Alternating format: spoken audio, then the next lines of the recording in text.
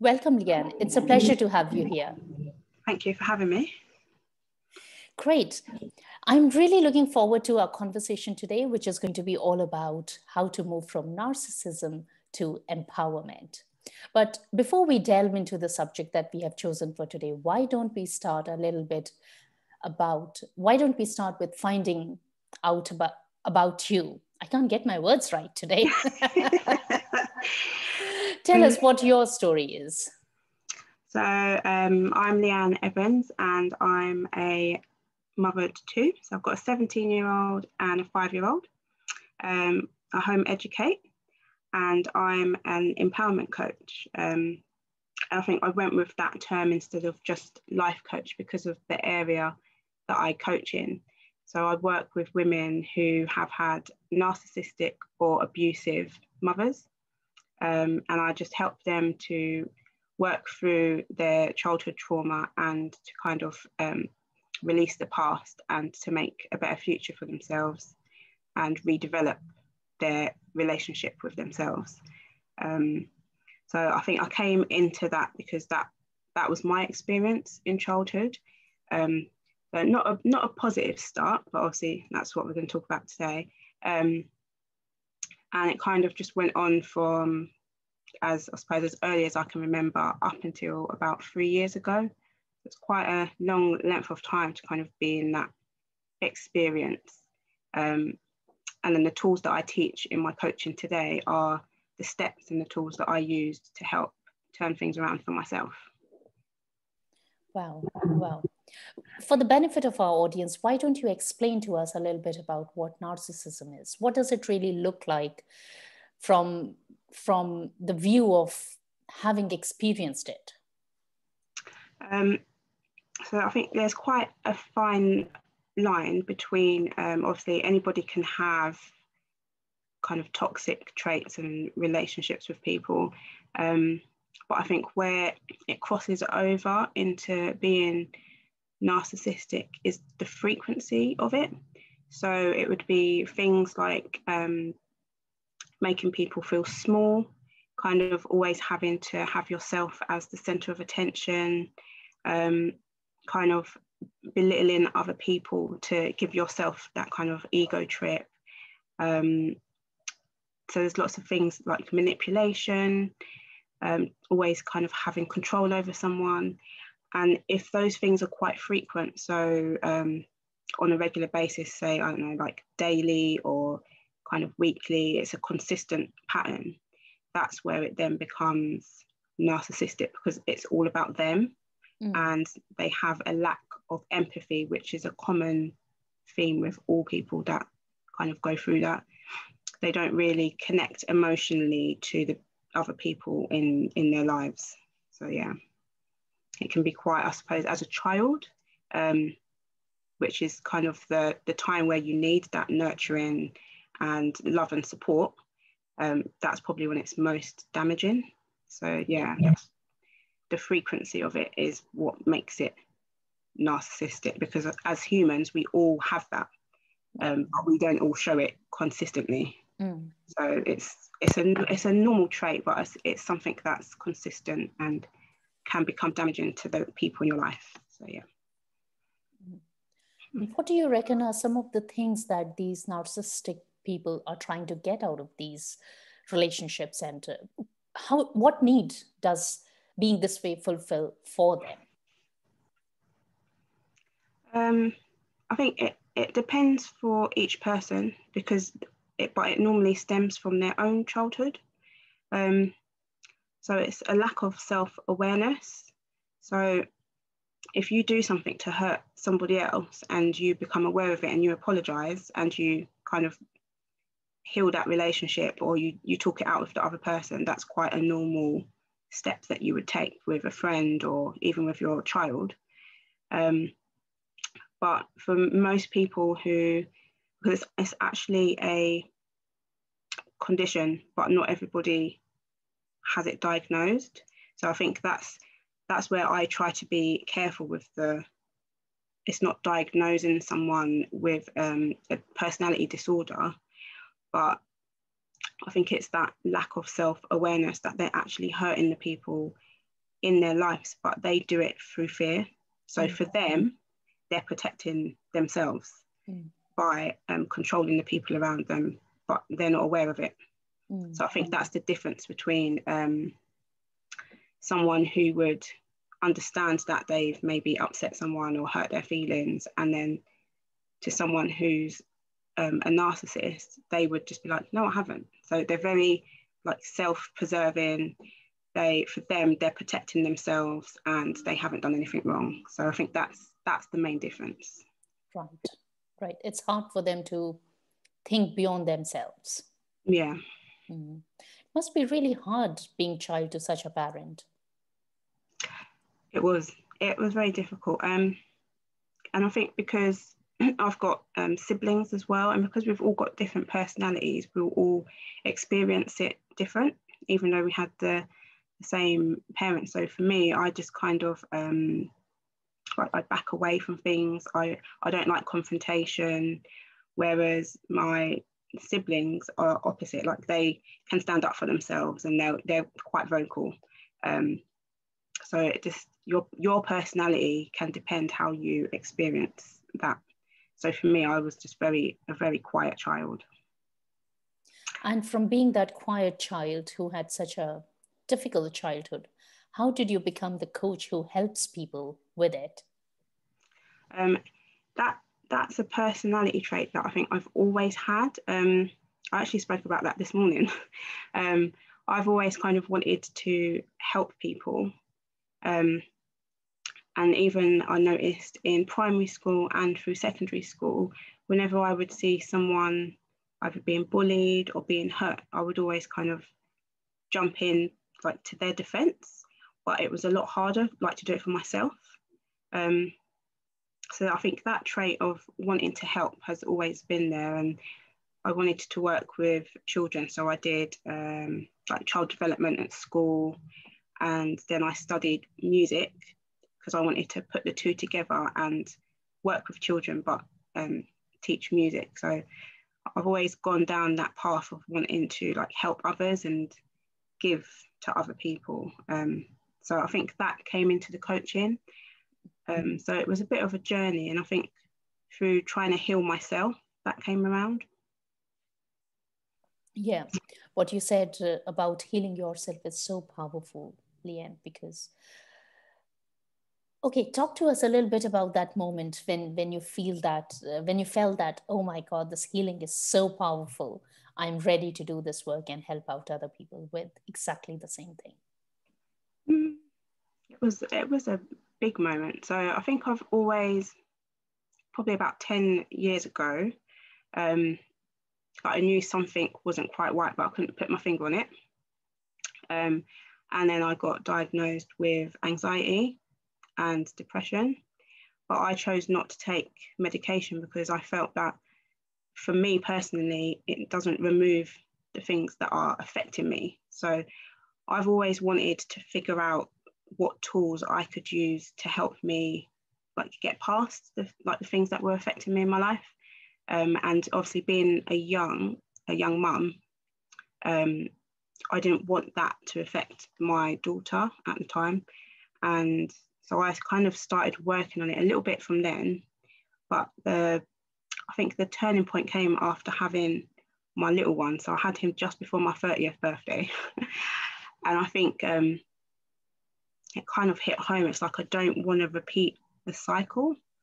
Um, and that was, I think, when I started really looking into different areas and different ways to um, to kind of like change my thinking patterns and how I can kind of help myself in order to be there 100% for, for my children.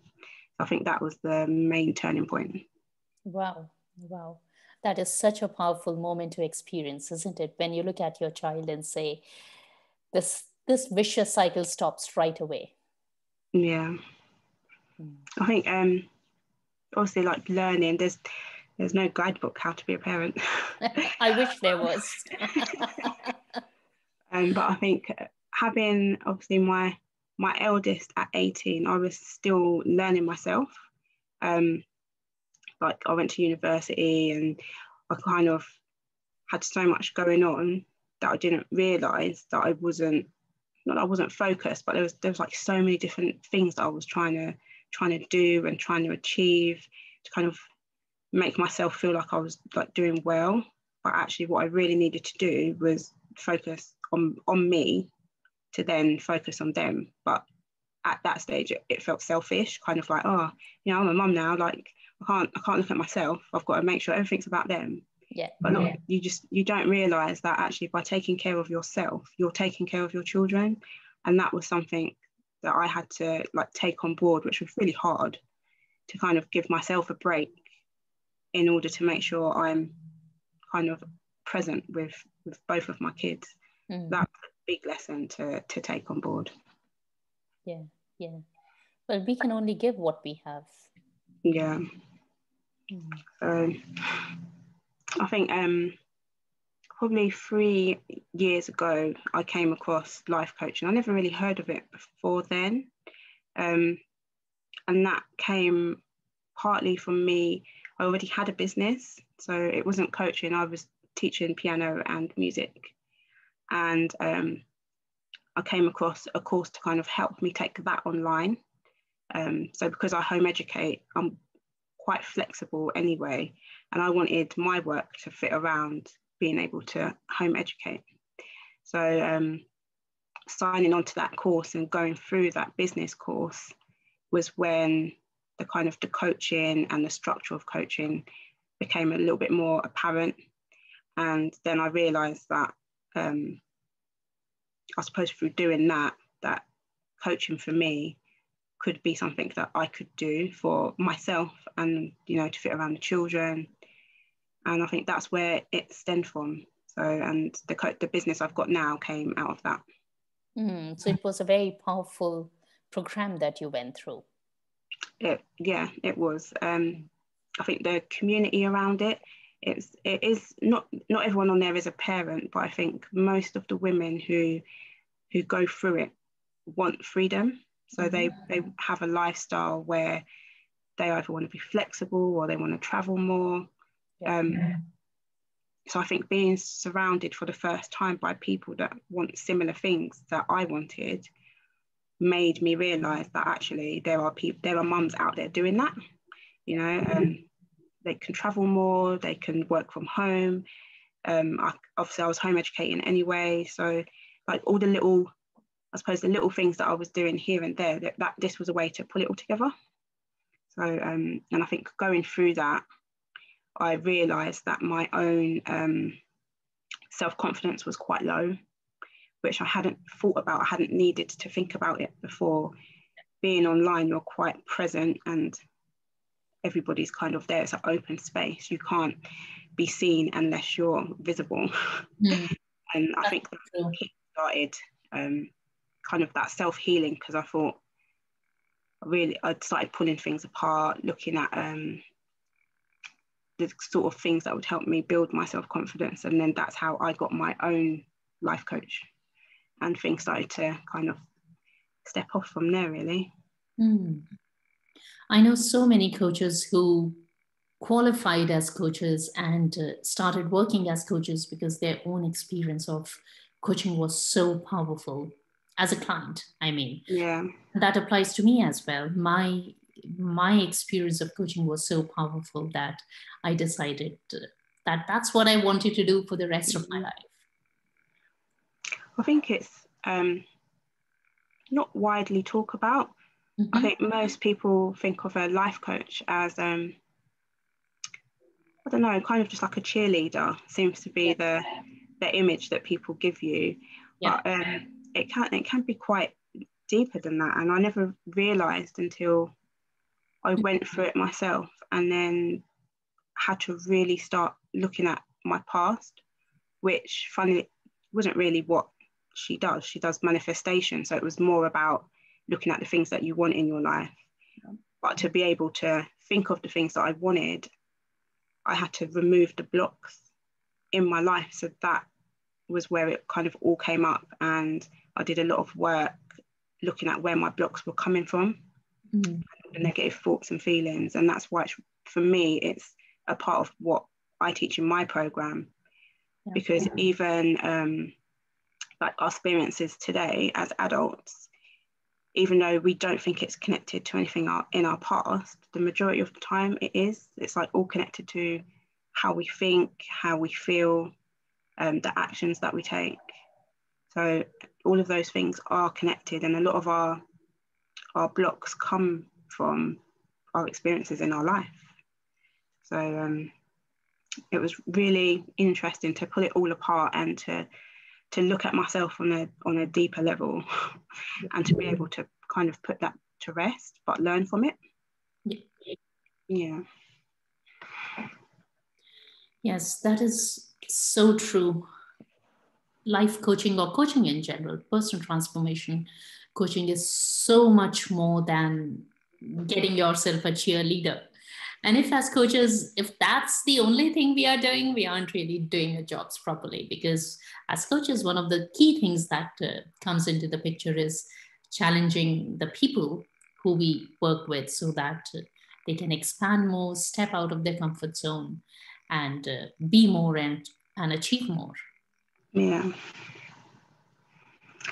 Um, I think I try to make that apparent in in what I do. So the women that I work with have obviously come from a really um, troubled background, and um, one of the things that I've seen come up quite a lot is that they've they've done all different types of therapy, um, counselling, self help books, and I think just taking one of those elements on its own can help but I think what what they don't have is that support. So I think for me, with the the life coaching, I did it hand in hand with counselling. So I had them both together. Yeah.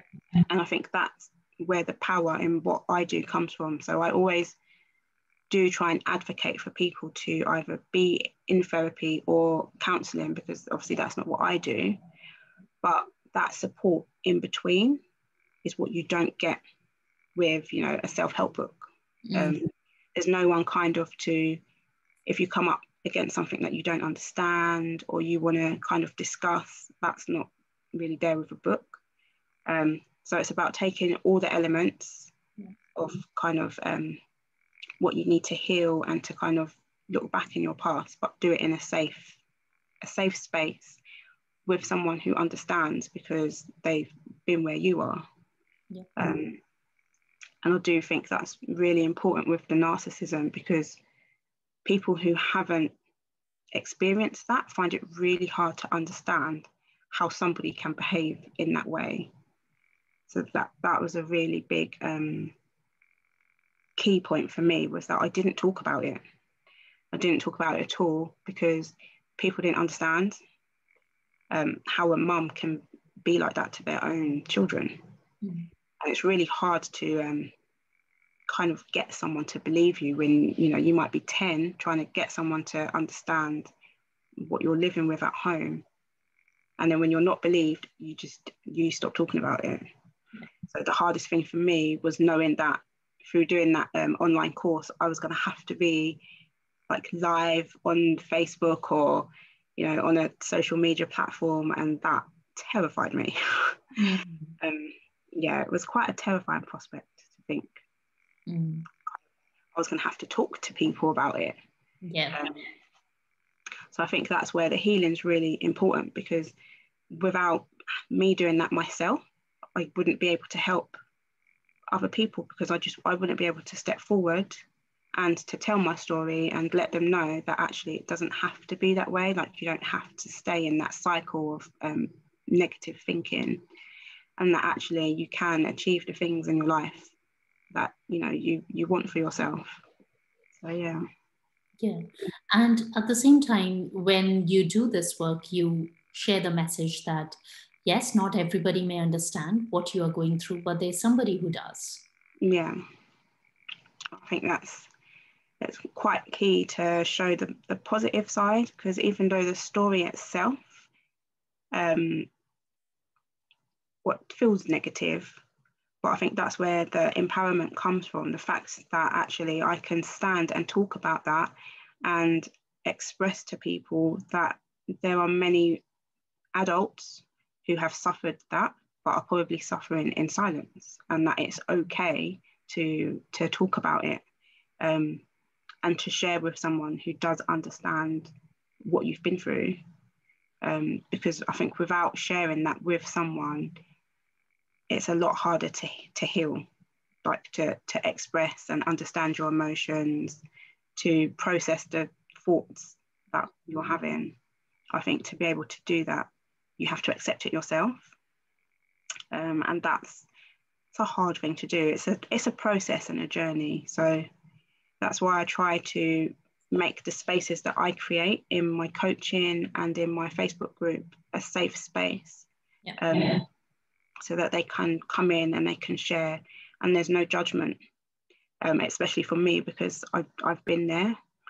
Um, so yeah, it's a place where they can feel validated and feel supported and encouraged to um, take the steps forward to make their life better. Yeah. I totally relate to what you just said about uh, people who have not been in that situation find it really hard to understand.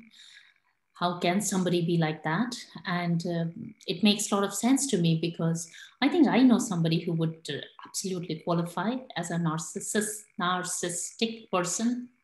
God, it's a tough word to pronounce. But but I've known them for many years, and yet every time they would do something which only talks to their self interest, it just appalls me still. And I would say, I would go, how can somebody do that? It's yeah. very, very hard to understand. I think it, it can be. And um, I think as humans, we kind of, we want, we want the answers. And I think we, we spend a lot of time um, well, people people that have had suffered that abuse or even anything traumatic in their life, um, sometimes you can spend so long looking for answers um, without actually realizing that you're not processing the experience that you've been through. Um, and I find that, that that's quite common. Even for myself, it was kind of, I wouldn't treat somebody like that. So I don't understand, like, why, why did my mum do that? And then obviously it is connected to her experiences but she would have to want to heal that her, for herself. Like even though my my um i suppose my automatic response is to want to help everybody um but i just found that i was doing that and then i was getting kind of emotionally burnt out because i was spreading myself so thin between friends family trying to help everybody, do everything, and be everything to everyone. And I wasn't looking after myself. So I think through the journey that I took to, to heal, having my boundaries was pretty important. It's a big thing. I'm still working on it, but um, it's something that's really important to be able to put your boundaries down with anybody in your life, you know, and to know what you're willing to accept and what behaviors you know you kind of don't want around you or your family. Um, and as coaches as well i think kind of like being there for your clients and really helping them but not making their problem become yours um, was a big thing that i kind of had to learn like going into the journey that i took to become a coach and realizing that I can still help everybody or the yeah. clients that I get, I can help them. But I don't have to take on their problems and kind of dive into it. so, yeah. You bring up a very, very important point there, Leann. Serving people powerfully, but not making their problems our own. And you are somebody who has made that transition from taking on other people's problems and uh, now not continuing to do that, having those firm boundaries. So are you able to give us some insight into how, how you made that possible? Because it is so important to have healthy and clear boundaries. Um, yeah, I would say um, probably the first tip is to to look at how you react to um, experiences. So um, for me, what was most important was looking at my thought cycle. So I think how um, when something happens, what's the initial thought that I'm having? So it could be um, I'm not good enough, or I'm scared, or you know my friends being treated um, in a bad way, and then looking at the emotions that that's bringing up. So um, I don't know, say, and I think naming the emotions is really important. So whether it's you're scared, you're um, terrified, happy. So I think looking at the emotions that it's bringing up so that you can understand yourself, what mm-hmm. you're doing, like what your body's doing, what your reactions are. And then looking at the actions that you take from that.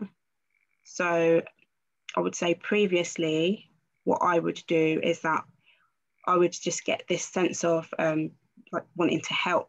Um, I would feel kind of annoyed or frustrated if someone was being treated in a in a bad way.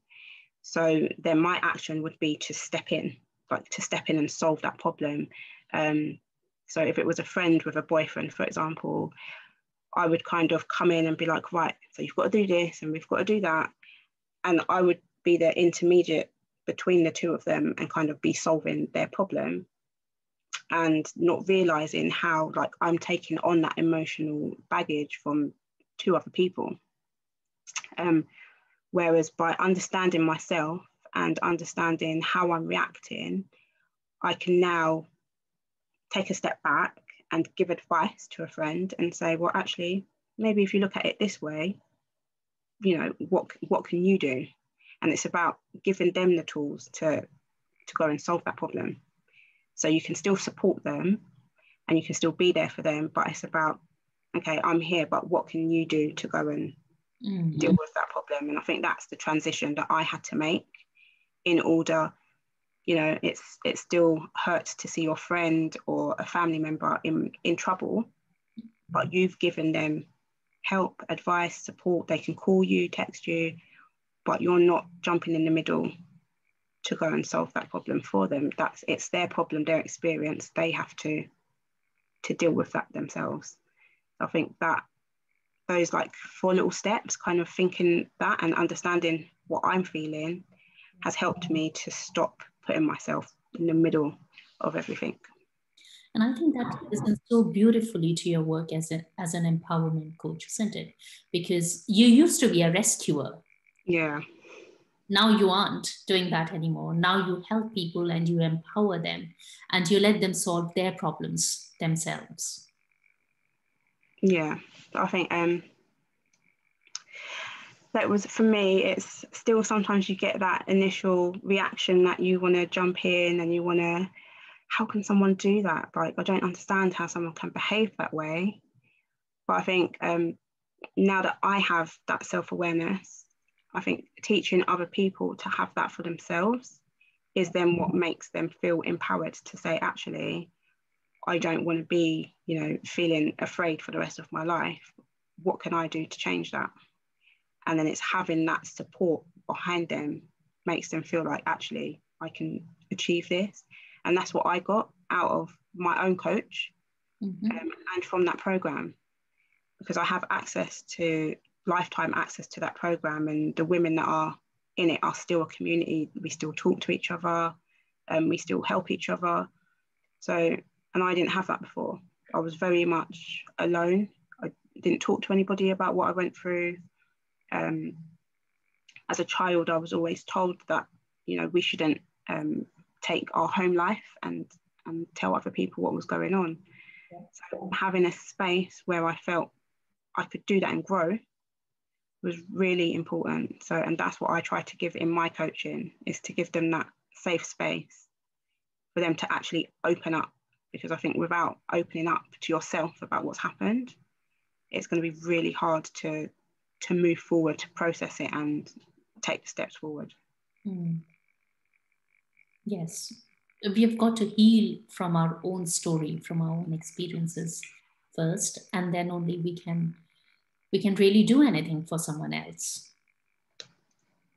Yeah, um, it's quite um, I won't say common, but I think what what I've heard is that a lot of people are told like don't don't look back, like don't look in the past, don't live in the past, and that's something that I actually agree with. Um, that we shouldn't stay there and live from our past. But I think in order to understand something, you have to go back and, and look at it and think what are the lessons that I can take from what happened yeah. in order to process it and then move forward. So that's something that I stress in um, my coaching. And on the back of that is where um, I started my membership. So I've got, I do one to one coaching so that people can kind of dig deep. But um, what I found is that some people find that really hard to just do that really deep work.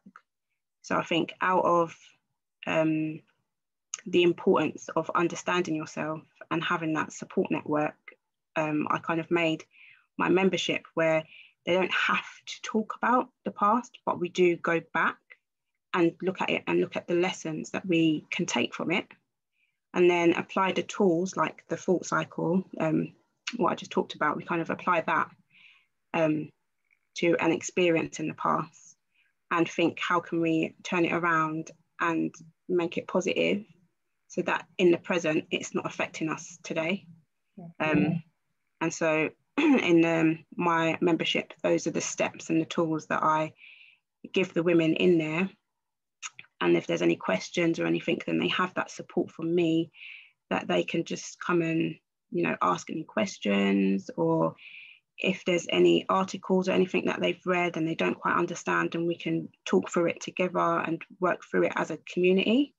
And then they don't feel so alone. And that's where that kind of grew out of that. Beautiful.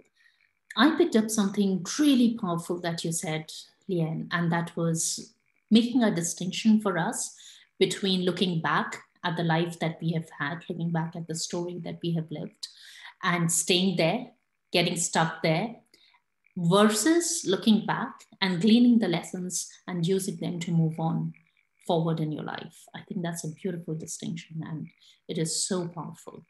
Oh, thank you. thank you. Yeah. Um, yeah, I think that's kind of the, the basis of most of my coaching and with the results that I've seen, um, well, it looks like it's working. I've had um, just women saying that they're able to, to take those tools and it can apply to any part of your life. So, yeah. you know, not just, you know, their bad experiences or their childhood, they can apply it to maybe a job that they're in. And if their job is quite stressful, then, you know, how can they take those tools to to work through the emotions that they might be feeling at work because they have to go to work every day. You know, they can't um, if they can't necessarily get out of that situation, how can they process their emotions so that it's not negatively affecting them when they go into the workplace. Um, and that was something that one of my clients brought up that she just said she was able to kind of go to work and her boss is quite um, quite a powerful person, you know, like he he makes sure that he's heard, that he's seen. And sometimes that can be um, a bit much for her to kind of be around every day. But by taking that little step and realizing that actually his behavior is based on him and his experiences and it's not anything that she's doing to him means that she's able to go to work and do her job yeah. without thinking she's upset him or she's done something wrong or you know all the negative thoughts that she would have had from her childhood that would come up she's able to process that and think actually that's that's his story and that's something you know he needs to work on i'm just here doing my job yeah she said for her that was really powerful to be able to do that and took away a little bit of the stress that she was kind of feeling every day going into work. So, yeah. What a fabulous result. My interpretation is that you are able to bring these powerful results for your clients because what you are helping them learn is about themselves. So you help them work on themselves, help them work with themselves. And so it is not so much about the external events as it is about working on ourselves. Is that the right way to look at it? Yeah, that that's what I try to do because I do think the events important.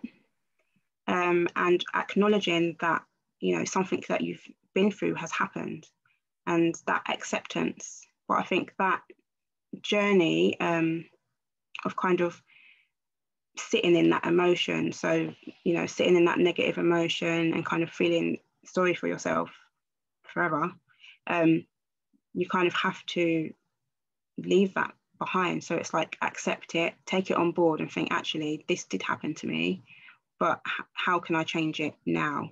And that's all about you. The other person who was involved in that experience they're responsible for their actions. So it's about kind of leaving that responsibility what happened with with them in the past and you being responsible for your actions that you're taking right now because we can't control what other people do but we can control how we react to it and the steps that we take afterwards so that's kind of what i try to um, implement within the teaching strategies and tools that i give them is that we have to be aware of what's going on around us, but we're only responsible for, for ourselves and our own actions.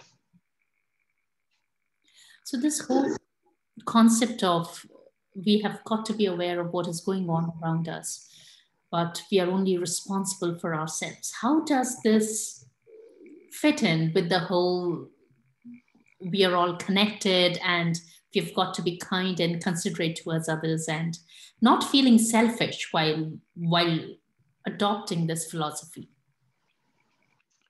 um, i think it's um, again i think that awareness is is really really key because although we can't make somebody do something else but the actions and the, and the words that we take does affect the people around us. So I would say, like with my parenting, the um, the best, biggest example of that is that if I am feeling stressed or you know overwhelmed, and then I start shouting, my child might not have done anything wrong, but because I'm kind of in that negative emotion and I'm not doing anything about it, it's just building and building, and then you know they could leave a toy on the floor or do something really simple and then you end up shouting.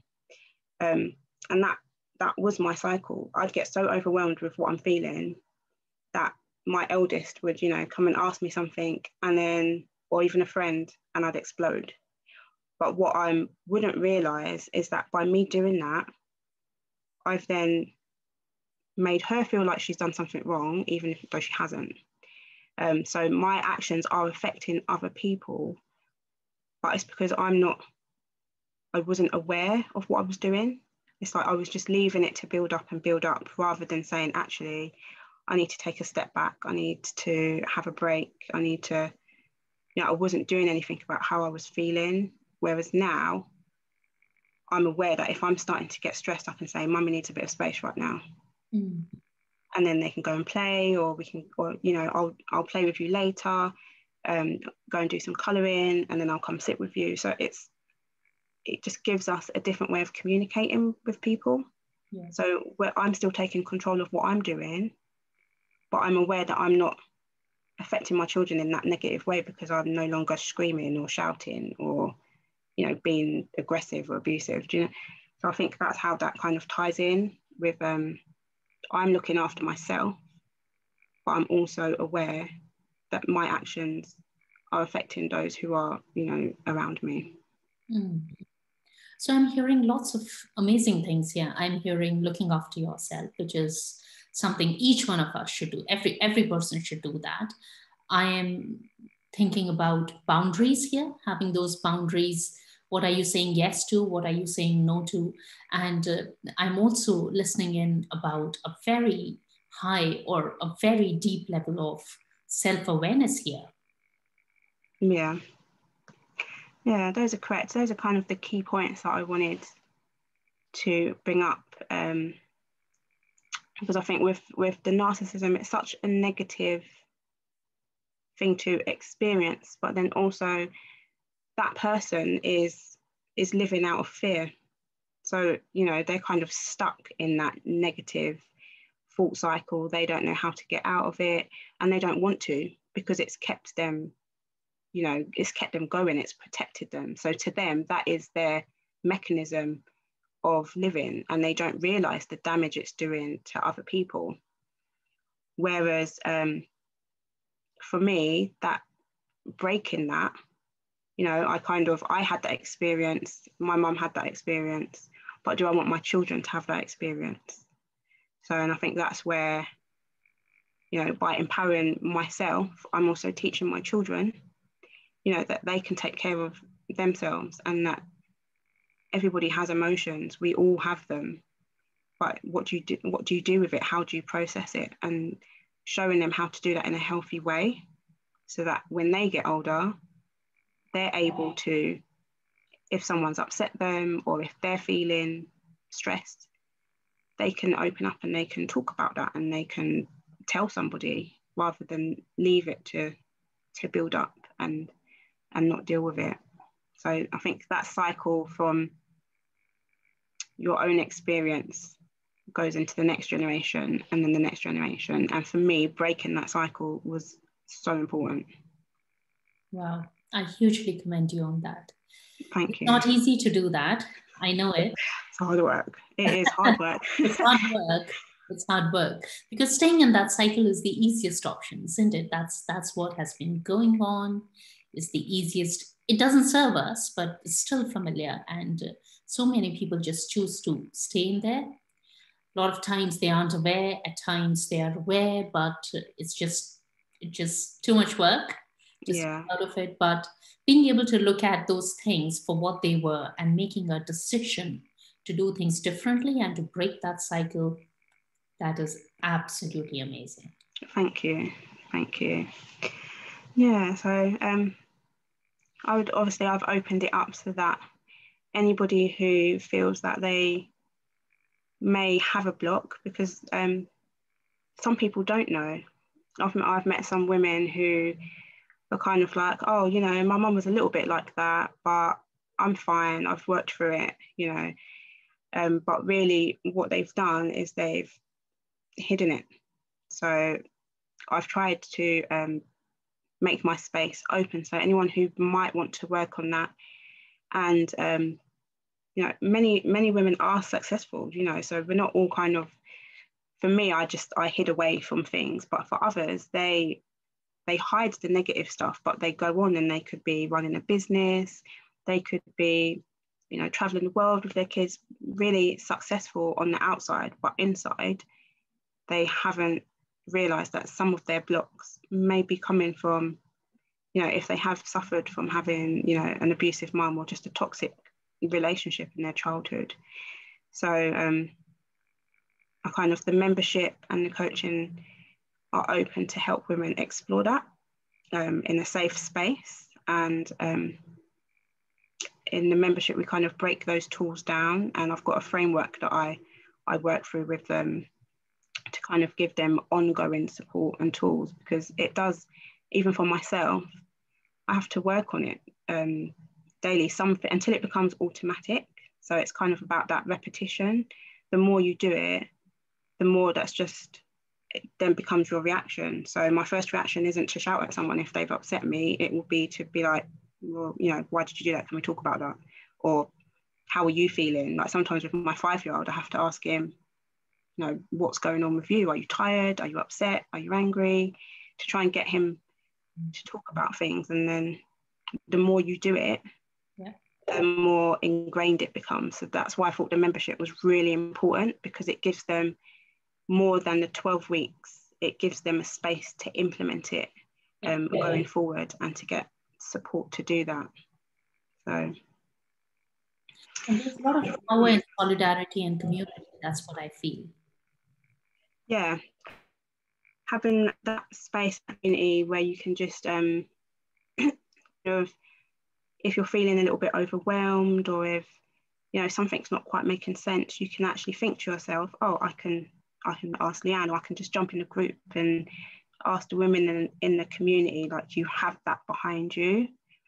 So it's, I think it takes away a little bit of um, that overwhelming feeling of doing something by yourself Yeah. Um, and sometimes that can be what stops you because it just becomes too much. Yeah. So sharing that problem and asking for feedback and support um, with no judgment as well. I think that for me that's so important. Like not being judged for anything that you you might be facing or that might come up because we all have bad days. Yeah. You know, we all have things that we can work on, um, and no one's perfect. And for me, having that space and building that community for women that's had a toxic childhood was really, really important. So I was really excited. And um, I opened on Sunday. So I opened on Valentine's Day, opened up the doors. And uh, I made it our, self love day. So I promoted it as self love. And um, yeah, so the doors are open. They've only been open for a short while. I've had a few ladies join up already. So I'm really excited to start working with them. And um, anybody who feels that they might want to to work on that is welcome to join. Mm. And you said you help people on a one-on-one basis as well. Yeah, so I have a 12 week a 12 week program, um, and it just means that we can dig a little bit deeper um, into things that they um, might want to talk more um, in a private space. Things that they might not be quite comfortable sharing in a group environment, it means that um, they've actually we've actually got time to work through the issues from the past and then connect it to what they want in their life now, and um, they can have that one-to-one support from me. And um, yeah, it's 12, 12 week program. Yeah. And I, are you taking people at the moment? Are you taking I am, I am, yeah. I have um, availability for one to one, and obviously the membership is also um, open. I've got um, about eight more spaces, just like for the founders who join, um, and they'll be the ladies that will um, obviously get that little bit extra for joining before the door shut at the end of February. So um, yeah, I've got space and availability in both the one-to-one program and the membership. And do you work only with women? At the moment, I do. Um, I think for me it was important to to specify who I worked with because um, although you can get it from any parent, any person can be narcissistic, but I think the connection between um, a daughter and their mother is different to the relationship that you'll have with, um, say, your son or even with a father. Um, I think how, how that shows in that connection is really different. And I didn't want to um, work with people that I didn't have either experience with. Um, and at the moment, my experience was that connection with my mum. So like, like really wanting that bond with her and wanting to do, I don't know, like typical mother daughter things and like how to comb my hair, like makeup. I've actually learned about my makeup from my daughter. um, I didn't know what foundation was, and she was like, "Do you not use foundation, mom I was like, "No." There's like little things that I've picked up with my daughter, and that bond is different with my son. Like I love them both the same, yeah. but I think that connection and that that bond materializes different. Um, so at the moment, I do only work with women, and hopefully down the line, I'll be able to open it up because I'm actually studying um, about positive intelligence. Mm-hmm. Um, and those tools can be used with anybody. Um, and obviously, it's um, a seven week program for myself. And so I have to implement these steps in my own life before I kind of put it into coaching. And I think it's really important that anything that I'm asking people to do and my clients to do, that I've done it myself or I'm implementing it myself. Yeah. So I think at the moment, while I'm working on that, I will keep it um, only for women. Um, and hopefully in the future, I'll be able to open it up and work with anyone who's had that experience in their life. Leann, if you had to share one message for to people or for people who are in a narcissistic relationship, whether they are the perpetrator or the victim, what would you say to them? I would say that um, it it does get better, and it can get better if you want it. Um, there is help, even though sometimes it doesn't feel like it. You know, there are others who have been through it, and there is support out there to help you um, like grow within, to rebuild that relationship with yourself and understand yourself, and you can make the life that you want for yourself. Um, and I think it is just, it's hard, it's hard work, but keep going, keep going. There's support out there and it, it can get better. It can turn around for yourself, for your family, for anyone who wants support. It's out there. It's not going to be easy, but it's going to be worth it. It is. It's a hard journey, um, but it is worth it. And seeing the benefits that it's had on, on myself and my children has been amazing. Like we've been able to do things that I would normally not do because I'd be scared to do it. Um, but things like even with the traveling, things like traveling now, home educating, they're small little steps on their own, but together it makes such a big difference. And it is really worth it seeing how my relationship has grown with myself and with my children. That's so that's so beautiful. Leann, thank you so much for coming and uh, sharing your wisdom with us. When we finish, will you also be able to drop all your relevant links just under this video? Uh, yeah. Any links that you want to share to your website, to, to your program, to your membership, that'd be great. I will do. Thank you very much for having me. Thank you very much. And uh, thank you to everybody who's going to catch us up on the replay. Thank you. Bye. Thank you. Bye.